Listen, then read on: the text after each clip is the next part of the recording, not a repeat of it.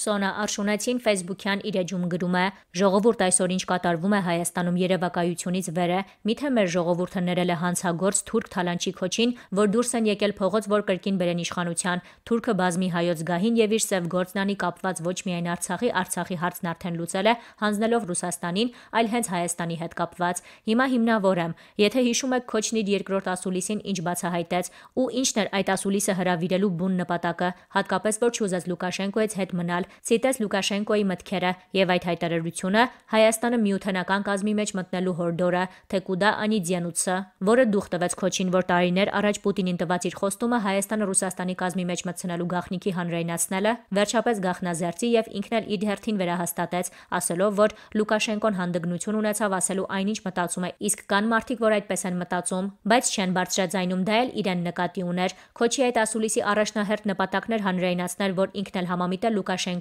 հետ Հայաստանը միութենական բլոկի մեջ մտցնելուն, որ տարիներ առաջ խոստացել էր Պուտինին եւ այդ ասուլիսին բացահայտվեց։ Այստեղ արդեն կանգ առնեմ, եթե այսօր այդ ցուցարարները դուրս են եկել Արցախը Նիկոլից փրկելու, բա իրոք համաձայն են, որ իրենց թուրք քոչի պայքարը Հայաստանը Ռուսաստանի կազմի մեջ մտցնելն է եւ հենց զրկելն է պետականությունից։ Հարց եմ տալիս, իրենք դրա համար են պայքարում, որ քոչին օգնեն Պուտինին տված իր խոստումը կյանքի կոչի, Հայաստանը կրկին մտնի Ռուսաստանի կազմի մեջ, թե իրենց էշի տեղ են դրել եւ տեղյակ չեն քոչի հերահար նպատակներից, Արցախի անվան տակ են դուրս եկել փողոց, էս ոնց է որ Արցախի համար մտահոգ են, իսկ Հայաստանի պահով անտարբեր, միգուցե իրենք էլ դրա համար են պայքարում, երևի իրենք էլ են նպատակահարմար գտնում լինել Ռուսաստանի կազմի մեջ, միայն թե չասեք թե տեղյակ չեք, որ քոչը նման խոստում է տվել Պուտինին, ասուլիսին པարզ բացահայտվեց, թե հասկացողության ինչ խնդիրներ ունեն, իսկ ասուլիսի երկրորդ նպատակն էր, որ բխում էր առաջին նպատակից, որ ժողովրդի ծախվող մասային տեղյակ պահի, աչքալու սանկտա, որ իմացեք շուտով փող է բաժանվելու շատ փող, հանկարծ բացակա չտակ, փողոցը ձեզ է սպասում հեղաշրջում ենք անելու Նիկոլին ենք տապալելու դեռ պատրաստվում ենք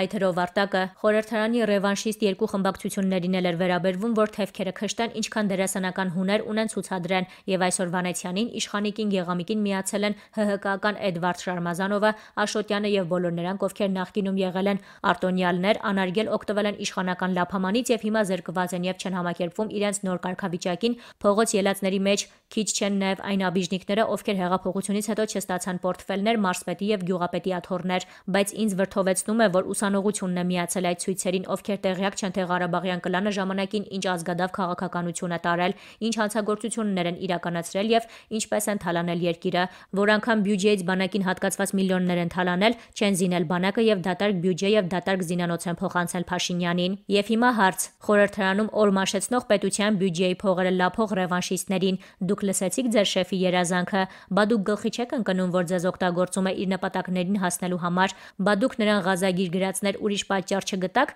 փողոց դուրս գալու հիստերիայի մեջ եք ընկել, թե Նիկոլն Արցախն է տալիս, իսկը Կիկոսի մահը դարձնելով, իբր մտահոգ եք հա Արցախի համար, իսկ Հայաստանի համար անտարբեր, այդպես է ստացվում։ Վերջում ասեմ Փաշինյան ջան, այսօր ռևանշիստները դուրս են եկել փողոց եւ կրկին հեղաշրջման փորձ են անում, ասեն, որ պահը շատ վտանգավոր է եւ նրանց մտադրությունը քաղաքացիական պատերազմ հրահրելն է, ստեղծեն անկառավարելի իրավիճակ, որ բախումներ լինեն, արյուն թափվի եւ ձեզ մեղադրեն։ Ճիշտ է, ոստիկաններն առայժմ կարողանում են ճնշել եւ կառավարելի դարձնել, բայց ինչպես տեսնում եմ, ուժեղ պատրաստված են եւ Աստված ոչ անի, որ մարտի 1-ի կրկնությունը լինի, սրանք ուզում են քաղաքացիական պատերազմ հրահրել եւ ինչպես քոչին մեղադրանք ներկայացվեց մարտի 1-ի համար, հիմա էլ այնպես կբեմադրեն ժողովրդի վրա կկերակրեն, մեղքը ձեր եւ ձեր կողմնակիցների վրա կգցեն, թե դուք եք հրահանգել, ձեր մարտիկ են կրակել ժողովրդի վրա, արյուն կթափեն, հայի արյուն թափվելուց քոչը մեծ բավականություն է ստանում։ Մինչ այդ հիշեք ռևանշիստներ, մենք դարերով ենք երազել ունենալ պետականություն։ Թուրք քոչոն թե ում ինչ է խոստացել, երազում կտեսնի, որ Հայաստանը